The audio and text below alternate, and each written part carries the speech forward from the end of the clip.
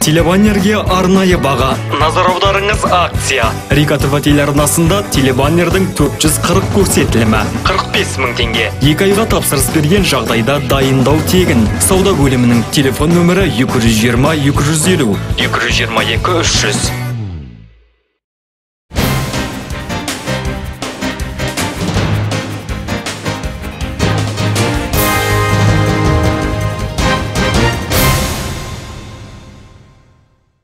сенбі күні қалада ұялы телефон ұрлығының алдын алу шарасы өтті. Тәртіп сақшылары телефондарды алып сатумен айналысатын саудагерлерді тексерді. Жүзден астам телефон тексерілген. Белгіленбеген жерде сауда істегендерге қатысты 12 әкімшілік хаттама толтырылған. Мекен жайы бойынша тіркеуге тұрмаған 30 азамат жауапкершілікке тартылды. Полиция бөліміне жеткізілген тұрғындармен алдын алу шаралары жүргізіліп мамандар салық төлеп жеке кәсіпкер ретінде есепке тұру туралы әңгімелескен. Бұл туралы облыстық ішкі істер департаментінің баспасөз қызметі хабарлайды.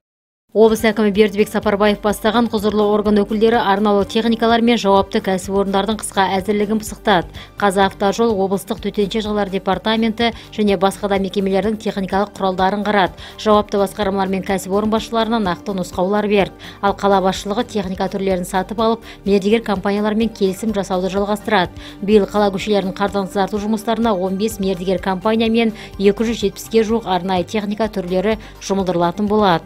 Қала енді былтырдан бастап ана прибор учета қойып жатыр gps соны ары қарай жұмыс істеу керек чтобы ертең ой мен бәленбай мың тонна қар шығарып едім ақшаны аз берді деп олай болмайды.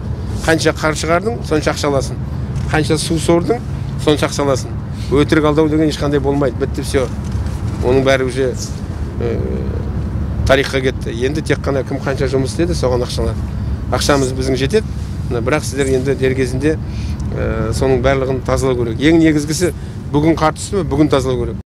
ақтөбенің жоғары оқу орындары білім министрлігі жақында жасаған рейтингте жұбанов университеті соңғы сатылардың біріне орналасқан. Медицина университеті тізімде мүлдем жоқ. Облыс әкімі бердібек сапарбаев оқу орындарының басшыларын жинап жергілікті жастардың білімі мен тәрбиесін сынға алды. Біз мына жастарды ә, толығыменен іс шараменен қамтамасыз етуіміз керек. Жастар таңертеңгі сағат тоғыздан кешкі сағат тоғызға дейін осындай іс шаралармен айналысу керек. Сол кезде жастардың арасында өзіне өзі қол жұмсау нашақорлыққа бару ішімдікке бару тәртіп бұзу қылмыс жасау болмайды. Бірақ енді өкінішке орай өздеріңіз енді баспасөзден де көріп отырсыздар. Бізге мынау күндегі келетін мына ішкі істер департаментінің мәліметі бар. Оқып қарасаң күніне бір ең кем дегенде екі адам өзіне өзі қол жұмсайды. Соның көбісі жастар көбісі студенттер. Қылмыс жасайтын кімдер? Жастар студенттер. Ақтөбеде екпеден бас тартқан ата аналар азаяр емес. Осыған байланысты қазір түсіндіру жұмыстары күшейтілді. Облыс бойынша екі жарым мың адам тұмауға қарсы екпеден мүлдем бас тартып отыр. Олардың 252-сін дәрігерлер райынан қайтарған. Биыл өңірде 84 мыңнан астам адамға тұмауға қарсы вакцина салынуы тиіс. Оның 32 мың 320-сына екпе тегін. Бұл жұмыстарға облыс бюджетінен 28 миллион теңге қаржы бөлінді. Вакцинациялау шарасы 15 қарашаға дейін жалғасады. Мамандардың айтуынша тұмау наурыз айына дейін созылады. Номер үшінші қалалық емхана бойынша біздерде төрт мың үш жүз жетпіс үш доза вакцина гриппол вакцинасы алынды. Оның ішінде мың екі жүз жетпіс үш дозы ақысыз түрде үш мың бір жүз дозы ақылы түрде. Осы уақытқа дейін біздер елу сегіз пайызын егіп тұрмыз. Екі мың үш жүз он сегіз адам егілді осы уақытқа дейін.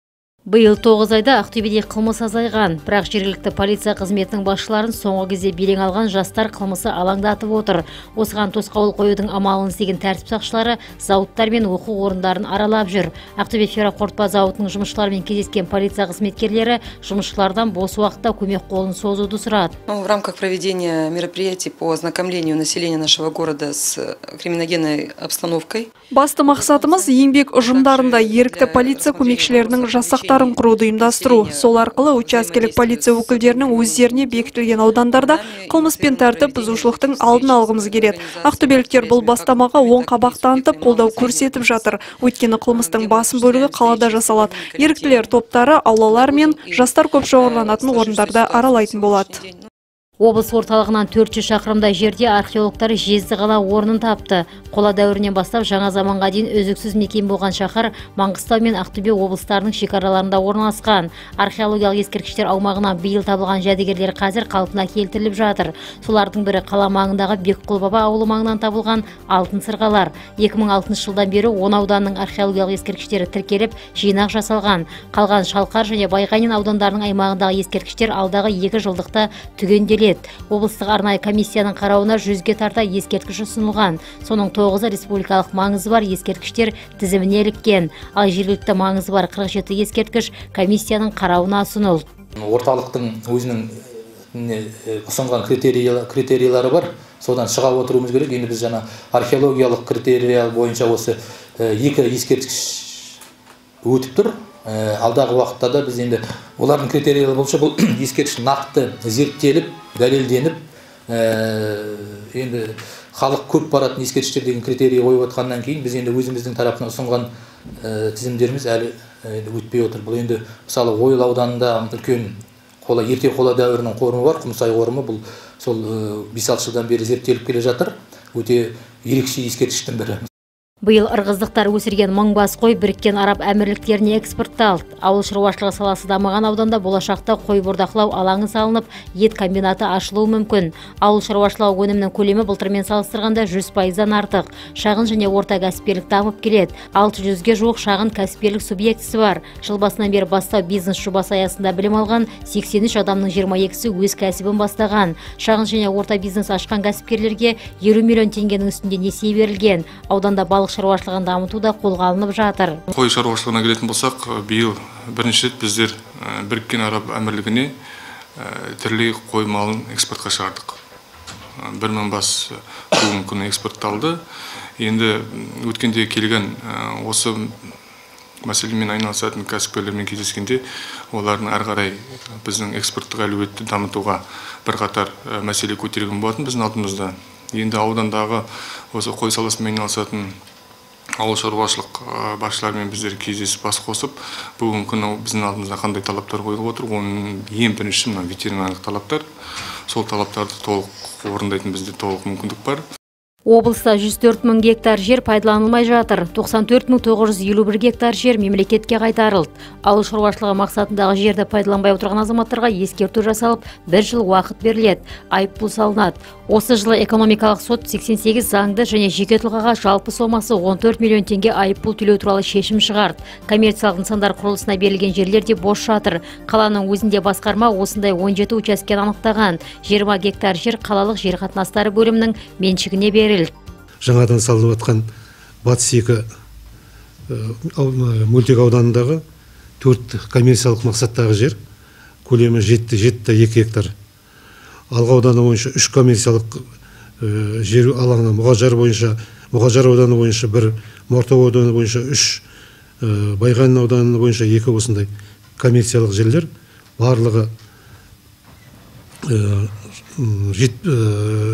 отыз жеті гектар алаңдағы сол мемлекет меншігіне соттың шешімі арқылы қайтарылды. Жасыл технологиялардың көмегімен бизнес жасауға болады. Әлеуметтік мәселелерді шешуге мүмкіндік бар. Ақтөбеде жасыл экономика тұжырымдамасының таныстырылымы өтті. Энергетика министрлігі біріккен ұлттар ұйымы даму бағдарламасы және қоғамдық ұйымдардың өкілдері жасыл экономика жасыл көпір бағдарламалары жөнінде түсінік берді. Жасыл экономика тұжырымдамасы жел күн су секілді орнатылатын энергия көздерін пайдалану қатты тұрмыстық қалдықтарды пайдаға асыру экологиялық ахуалды жақсарту табиғатты сақтау арқылы оны пайдалану секілді жеті маңызды бағыт тұрады. ауылдық жерлерде көбінесе мынау мектептерде болсын ауруханаларда болсын ыстық суға қолжетімсіз яғни ыстық су жоқ.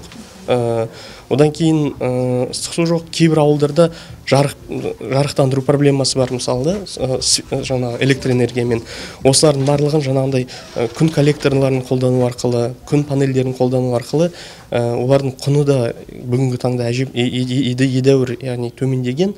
Соларды пайдалану арқылы қалай қарапайым халықтың өмірін жақсартуға болатынын көрсетеміз. Яғни ақтөбеге дін мәселелері жөніндегі ақпараттық түсіндіру тобы келді мамандар нөмірі қырқыншы қазақ орта мектебінде кездесу өткізіп қала педагогтарының сұрақтарына жауап берді. Мектеп оқушыларына хиджаб киіп орамал тағуға жол жоқ. Ал мектеп формасын сақтамаған оқушының ата анасы жиырма екі мың алты жүз тоқсан теңге айыппұл төлейді. Бұл заң талабы. Ақпараттық топ мүшелері еліміздің барлық өңірін араламақ. Теологтар хиджаб киетін жүзден астам әйелмен тілдескен. Балаларын мектепке орамал тағуға мәжбүрлеп жүргендердің дені сауатсыз дейді мамандар. Осы ата аналардың өздерін діндармыз деген азаматтарымыздың кейбіреулерінің діннің негіздерін оның қарапайым құндылықтарының өздерін дұрыс түсінбейтінін көріп отырмыз. Яғни бүгінгі күні біздің еліміздің аумағында өздерінің балаларының мектепке орамал болмаса хиджаб тағып келуін қалаған ата аналардың басым көпшілігінің діни білімдері жоқ. Олар тіпті діни білімді мешітте де алмаған олар тіпті қарапайым ғана намаз оқу болмаса ораза ұстау олардың үкімдерін толық білмейді. Өздерінің оқыған бір нақты діни әдебиеттері де жоқ. Мен біразбен кездестім сөйлестім. Соңғы екі жылда дінге келген сол өздерінің біреулердің тықпалауымен біреулердің күштеуімен өздерінің қыздарының орамалын шешкісі келмей қазір тіреліп отырған жағдайы бар. Ақтөбеде үздік аула байқауының жеңімпазы анықталды. Ол қазанғап көшесіндегі нөмірі елу жетінші үйдің ауласы. Бұл үйдің ауласына енді бейне бақылау камерасы мен балалардың ойын алаңы орнатылады. Аула ішіне асфальт төсейді. Ал екінші орын иегері шевченко көшесіндегі нөмірі отыз бірінші үй. Бұл үйдің ауласына балалар ойын алаңы салынып жергілікті бюджет есебінен асфальт төселеді. Үшінші орынға батыс екі ауданында орналасқан нөмірі жүз қырық бесінші үйдің ауласы лайық деп танылды. Сыйлық ретінде су жаңа еуро қоқыс контейнерлері орнатылмақ. Кск ақниетке 19 үй қарайды. Жыл сайын осы конкурсқа қатысамыз. Аулаларымызды таза ұстауға тырысамыз. Тазалық шараларды тұрғындар қуана қатысады сенбілікке шығып өздері гүл егіп клумба егіп солай таза ұстауға тырысады. Сол балалар алаңқайы бар. Сосын өз қолдарымен жаңағы жасалған баклажкалардан жасап гүлдеп неше түрлі сосын неше түрлі жаңағы жануарларды жасап қойды қолдарынан қаланы бір түннің ішінде қалың қар басып көлік жүргізушілерін әбігерге салды. Ақтөбеліктердің көлігі қысқа дайын болмай шықты. Доңғалақ ауыстыру қызметтерінде ұзын сонар кезек. Ал қаланың коммуналдық қызметі жолдарды қардан тазалауға кірісті. Бұл жұмыстарға 15 арнайы техника мен 300 жұмысшы жұмылдырылды. Бірінші кезекте қоғамдық көлік жүретін көшелер әлеуметтік нысандарға баратын жолдар тазартылып жатыр. Сонымен қоса мына біздің жеке көлік иелеріне айта кететін бір мәселе. Біздің мына көше тазалау жұмысында бір қиындық туғызатын мәселе. Мына көлік иелері қысқы резинаға әлі толық ауысып үлгермеген. Сол мәселе мына қазгидрометтің данный ақпараты бойынша бүгін күн ұзағана қар жауады ертең жаңбыр жауады ертең кешке көктайғақ болу деп ақпарат берілді. Сол себептен мына біздің жеке машина техника иелеріне резиналарын тездетіп қысқы мезгілге ауыстыруын өтінеміз. Қаланың орталық аудандарының 80 пайызын электр энергиясымен қамтып тұрған сазды қозалқы станциясының жүктемесі азаятын күн жақын. Сәңкібай батыр даңғылында орналасқан ескі тұрғындар қалашы қосалқы станциясы жаңғыртылды нысан желтоқсан айында іске қосылады. Қосалқы бекетті облыс әкімі бердібек сапарбаев аралап шықты. Қосалқы бекеттегі электр таратқыш қондырғылар мен басқа жабдықтардың бәрі ресейден әкелінген. Бәрі жаңа озық технология жабдықталған мына жерде защиталар тұр жаңағы защита жаңағы сөнген қай уақытта сөнгендерін бұрынғы уақытта бір тепловой защита болды сөніп қалады. Сол адам келіп қарайды неден сөнгенін білмейді. Қазір мына мыналардың беретін артықшылығы бұлар қай уақытта сөнді қандай токпен сөнді қандай уақытта. Соның бәрі сақталады. Сосын сөнген мысалы линия сөнсе алыстағы линия. Сол қанша осы жерден қанша қашықтықта сөнді соның бәрін көрсетіп береді. Соны табу тездетіп бұрынғыдай іздеп жүрмейді мысалы. Біледі карта бойынша осы жерден отыз километр отыз қырық па қырық соған барады да қарайды сол маңнан соны көрсетеді. Биыл тоғыз айда ақтөбеде тіркелген қылмыстар саны 27 пайызға азайған. 10 мың бір жүз жетпіс төрт қылмыс тіркелген. Зорлық бопсалау баптары бойынша қылмыстық істер саны артқан. Ал бұзақылық ұрлық және қарақшылық баптарына жататын қылмыстар көрсеткіші төмендеген. Дегенмен жасөспірімдер арасындағы қылмыстар саны артқан. Енді әр азаматтың интернет жүйесі арқылы құзырлы органның арнайы сайтына кіріп қай аудан қай көшеде қандай қылмыс түрлерінің жасалып жатқанын жол көлік оқиғаларының динамикасына байланысты толық ақпарат алуға мүмкіндігі бар. Бас прокуратураның бастамасымен қылмыстар картасы қолданысқа енді алаяқтық фактісі бойынша 94 қылмыс тіркелген екен. Осы қаламыздың көне бөлігінде. Мына жерде байқап отырсаңыз қылмыстың көп түрі орталық базардың аумағында жасалған екен. Өйткені ол ең басты ол себептердің бірі орталық базардың аумағында халықтың көп жиналатын жері болып табылады. Сол себепті қылмыстың да түрі көп кездеседі. Халыққа қызмет көрсету орталығында жыл басынан бері 1 миллионнан астам адамға қызмет көрсетілген. 222 мыңға жуық ақтөбелік электронды қолтаңба алып үлгерген. Мамандар қала тұрғындарын мемлекеттік қызметтерді тек электронды форматта алуға шақырады. Қазір қалада өз өзіңе қызмет көрсет акциясы жүріп жатыр. Үйлену балабақшаға тіркеу өтініштері мен түрлі анықтамалар тек электронды түрде беріледі. Электронды қолтаңбаны біз жылына бір рет алып келесі жылы оны жаңартуға мүмкіндік бар. Осы жерде жаңа әріптестерім де айтып өтті. Электронды қолтаңбаның мерзімі өткенше оны ә, pki нүкте gov kz аталатын сайттан егер жаңартатын болсаңыз тіпті халыққа қызмет көрсету орталығына келудің қажеті де жоқ. Сонымен қатар өзіңіз енді көзіңіз ашық азаматтарсыздар бұқаралық ақпарат құралдарынан оқып жатқан боларсыздар. Қазіргі күні ә, біздің ә, осы қызмет көрсету саласын қамтитын арнайы министрлігіміз ә, электронды қолтаңбаны жаңарту халыққа неғұрлым жеңіл оны алуға мүмкіндігі болатындығы жөнінде ұсыныстар енгізілді. Екі күнде қаладан 200 тоннадай қар шығарылған. Қыс бойғы жұмыстарға есептелген 260 техниканың 150-і бірден жұмысқа кірісті. Жолдарды, тротуарларды қардан тазарту, жиналып қалған суды сорғылаумен 15 бригада айналысып жатыр. 400 жұмысшы жұмылдырылды. Қалалық әкімдік жеке көлік жүргізушілерінен көшелерді тазарту жұмыстарына кедергі келтірмеуді сұрайды. Көліктерін кез келген жерге қалдырып кететіндер көп. кейбір қиындық туғызатын мәселе мына жеке көлік иелері мына жолдың іргесіне машиналарын қалдырып кету ә, мәселелері бар сол мәселе ә, жол тазалау жұмыстарының кезінде қиындық туғызады негізінен. Сосын ә, мына қысқы шинаға ауыстыру жұмыстары оны өздеріңіз білесіздер кеше күн ә, оны өзі байқатты. Енді ә, бүгінгі күн жылыны пайдаланып тем более алдағы уақытта күн суытып аяздауы мүмкін көктайғақ болуы мүмкін. Сол шиналарын қысқы резинаға тездетіп ауыстырған қолайлы болар еді. Биыл Ақтөбеде темір жол бойынан өтерде қауіпсіздік шараларын сақтамаған үш адам қаза болды, ал бір адам дене жарақаттарымен ауруханаға жеткізілген. Қауіпті аумақтарға қоршаулар орнатылса да нәтиже жоқ. Тіпті мас күйінде апаттық жағдай туындатып, қозғалысқа кедергі келтіру деректері де тіркелген. 2015 жылы қоршау тұрғызған болатын адамдардан қорғау қоршау қорғау мақсатында жол жүру жол жүру кезінде бірақ та қазіргі таңда адамдардың тұрғындардың қала қонақтардың кез келген жерде бұзып қоршауды бұзып біздің жұмысшылардың айтқандарын елемей жатыр. Сондықтан да осы жылы ә, көптеген фактілер тіркелді. Жаңағы халықтың қоршауды бұзып кез келген жерден өтіп жаңағы пойызды айтады ғой экстренный торможение дейді ғой сол кезде беріп халықтың пойызды шұғыл тоқтатуға себеп болып жатыр. Полиция қатары тағы 20 жас қызметкермен толықты. Сынақтан өткен тәртіп сақшылары салтанатты түрде ант қабылдады. Қазір ішкі істер департаментінде 383 орын бос. Әсіресе облыс бойынша жергілікті полиция, жол патрульдік полиция қатары толықпай жатыр. Шұғыл әрекет ететін арнайы жасаққа да қайратты ер азаматтар қажет. қазіргі уақытта 383 ә, бос орын тұр соған байланысты біз осы айдың 23-нен бастап 10 күн аралығында осы биылғы жылғыға жетінші конкурс байқау өткізіп жатырмыз осы осы сіздердің көмектеріңізді пайдаланып сол ә, жаңағы қазақстан республикасының азаматтары 18-ге толған 35 жасқа дейінгі білімі жоғары орта арнаулы және сержанттық лауазымдарға қатардағы ә, білімі орта әскерде болған бірақ олардікі. Ә, сондай қызметкерлер болса ә, нелер азаматтар біздерге қабылданады. Көліктермен жарақталған. Жігіттер қызметке адал болуға ант етпес бұрын екі ай жұмыс істеп өздерін көрсеткен. Дайындықтан өткен. Облыстық ішкі істер департаменті кадрлар қабылдауды жалғастыра береді.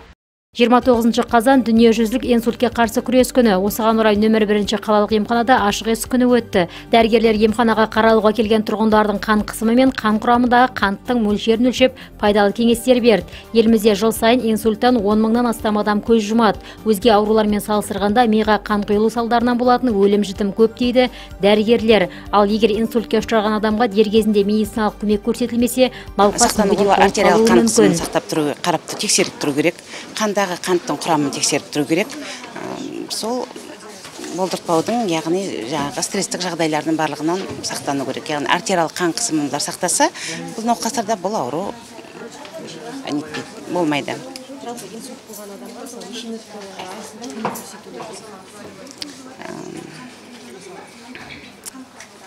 Енді жедел жәрдем жедел түрде яғни қан қысымын төмен түсіру керек. Жедел, жедел түрде көрсету керек. жаңалықтарды сонун менен катар арика арикатова kz сайтынан окуп көрүүгө болот